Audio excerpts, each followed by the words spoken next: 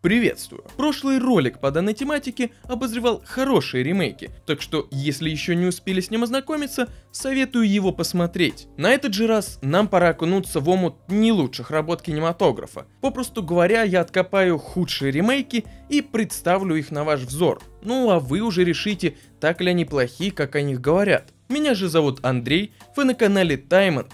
Поехали!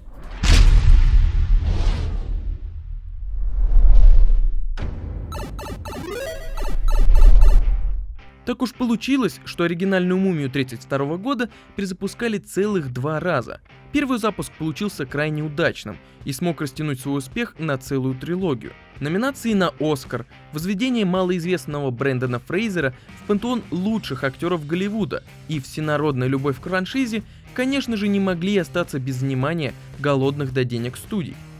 Подождав 9 лет после выхода третьей и последней части, в 2017 году повсеместная реклама начинает возвещать о перезапуске легендарной серии фильмов. На этот раз вместо уже настрадавшегося Фрейзера в каст берут звезду титанических масштабов – Тома Круза. Да и всю последующую маркетинговую кампанию студия строит вокруг его имени, завлекая, казалось бы, на новую часть миссии невыполнима, что прибавляло еще больше подозрений этому проекту. После выхода картины на нее посыпался шквал. Даже не критики, а скорее недоумение, как такое вообще могли снять. А ведь эта картина должна была знаменовать собой открытие новой вселенной, так называемый Dark Universe. Из плюсов этой работы, пожалуй, можно отметить только лишь неплохой CGI, а все остальное оставляет желать лучшего. Фильм пытался повторить практически все то успешное, что было у предшественника. Юмор, атмосферу приключений и, наконец, щепотку хоррора, из-за которой как раз таки оригинальный фильм и зацепил многих зрителей. Но нулевая мотивация персонажей в сценарии переросла в такую же мотивацию создателей и, что самое главное, актеров. В то время, когда «Мумия» 99-го дарила нам великолепного Брэндона Фрейзера, «Мумия» 2017-го подсовывала второго Джека Ричера, если вы понимаете о чем я. Бесславным итогом проката стало 8 номинаций на «Золотую малину» и одна победа Тома Круза за худшую мужскую роль.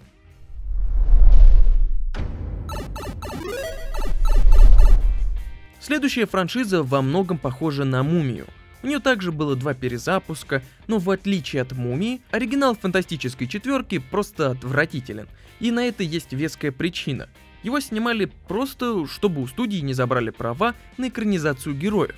Но ни режиссер, ни актеры не были в курсе, что работают над заведомо мертвым проектом, который в итоге даже не был выпущен официально, да и уже никогда и не выйдет. Нас же интересует второй перезапуск, который осуществила студия 20 век Fox в 2015 году. Изначально все выглядело очень амбициозно, пафосно, в общем, в стандартной супергеройской оболочке. В каст взяли молодых популярных актеров, особенно выделялись двое – Майлз Теллер, совсем недавно сыгравший в «Оскароносной одержимости», и Майкл Джордан, у которого в тот же год вышел фильм «Крит. Наследие Рокки». Компанию им составляли крепкий сценарист Саймон Кинберг и молодой подающий надежды режиссер Джош Транк. Казалось бы, что может пойти не так? Тихо и мирно протекающая работа прервалась, когда в 2014-м режиссер представил свою версию фильма. Продюсерам не просто не понравилась проделанная работа, они потребовали, чтобы фильм был переснят. Поэтому всей команде во главе с Джошем пришлось провести повторные съемки в начале 2015-го. Но даже это не сильно помогло. Полное отсутствие мотивации у главных героев, нулевая химия между актерами, которые явно устали от двух съемок подряд, да и режиссер явно не был готов к проекту таких масштабов, да еще и тотальному контролю и давлению, которое он получил после первого показа отснятого материала. Все проблемы фильма начались еще на стадии производства. Так, из-за пересъемок и сильно возросшего чека, создатели даже не смогли позволить себе перевести фильм в 3D. Ну а когда 120-миллионная работа увидела кинотеатры, ее ждало не что иное, как тотальный провал по всем фронтам. Оценки критиков, сборы и, наконец, награды. Из пяти номинаций на «Золотую малину» фильм взял три, как худший фильм, худший режиссер и худший ремейк.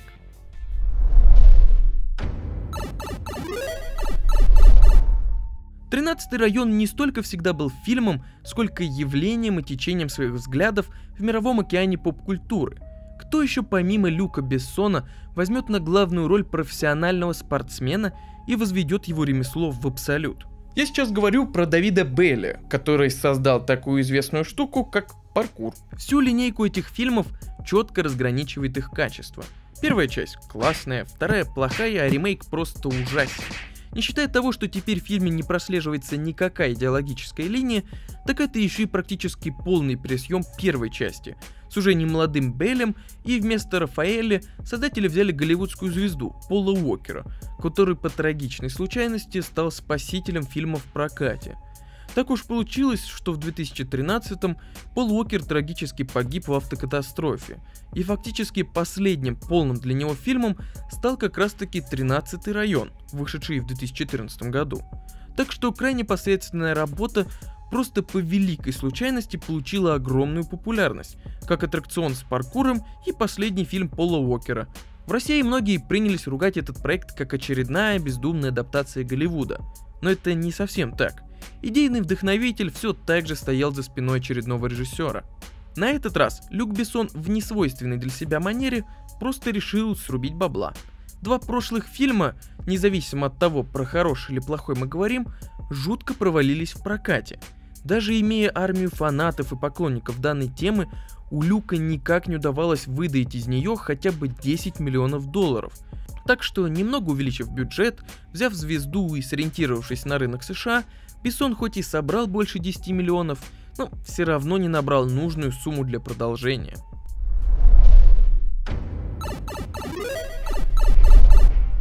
Что за провал может быть громче, чем провал очередного ремейка легендарной франшизы?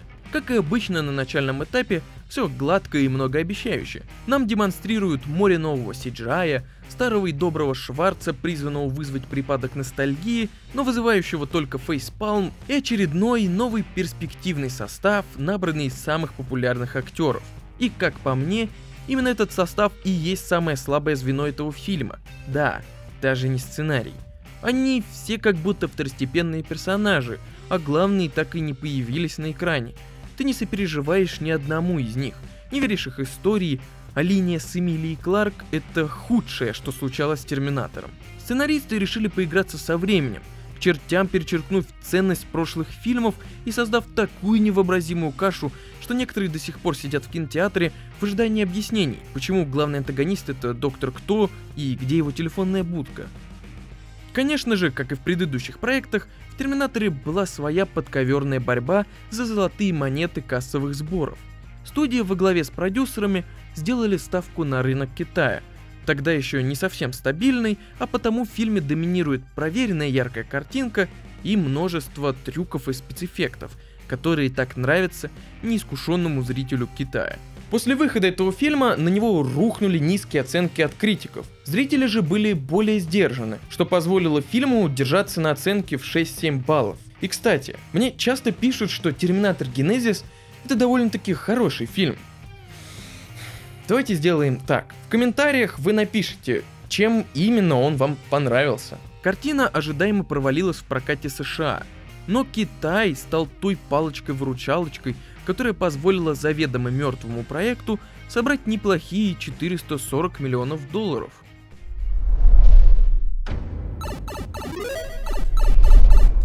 Чужой завет. Кто-то может придраться, что это скорее не ремейк, а приквел, но даже сам Ридли Скотт признавал, что это по сути перезапуск его вселенной, который стал возможен благодаря успеху Прометея. В 2012 выходит ранее названный Прометей, крайне необычный фильм, снятый в лучших традициях Кубрика с затяжными планами посадки кораблей, интересными персонажами и неторопливым сюжетом, раскрытие которого Ридли засунул аж в самый конец, решив посмотреть реакцию публики на возвращение вселенной чужих. Получив оглушительный успех у критиков и зрителей, Ридли Скотт объявляет, что в 2015 выйдет фильм «Чужой завет», который станет первой частью новой трилогии «Чужой».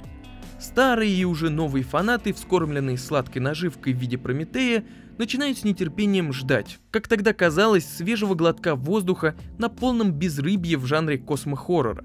С выходом первых трейлеров ажиотаж потихоньку сходил на нет. Кривоватый CGI даже из трейлера был виден невооруженным глазом. Но как это и бывает, самые большие фанаты всегда верят в успех полюбившейся франшизы, не обращая внимания на очевидные проблемы. С выходом фильма этих самых закоренелых фанатов становилось все меньше. Картина была по-настоящему глупой, противореча прошлым фильмам и самой себе, ведь теперь просто не осталось умного главного персонажа, за кем бы было приятно наблюдать и кому сопереживать. Остались только астронавты, порой сами идущие на смерть и не замечающие явных ловушек. И Дэвид, взявший себе в миссию уничтожить все живое, или что там, никто так и не понял.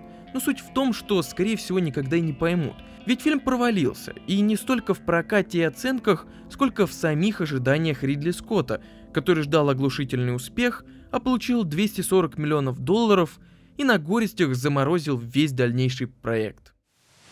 Делись своим вариантом худших ремейков в комментариях, мне будет интересно узнать. Присылай это видео своим друзьям, ставь лайк, если понравилась подборка, а с вами был Андрей, вы на канале Таймон. Пока. Подписочку оформите, молодой человек.